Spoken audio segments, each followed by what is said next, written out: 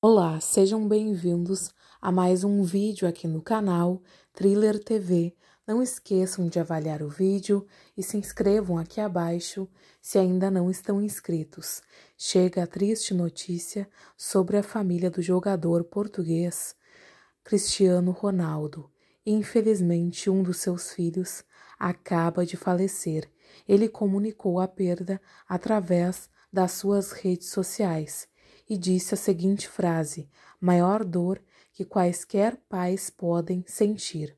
Esse filho é fruto da relação do jogador de futebol com a modelo Georgina Rodrigues. Infelizmente, o bebê nasceu um pouco antes do tempo e não sobreviveu. Eles eram gêmeos, os dois gêmeos que ele teve fruto do seu casamento. Essa notícia foi comunicada através das redes sociais de Cristiano Ronaldo no dia de hoje, 18 de abril de 2022.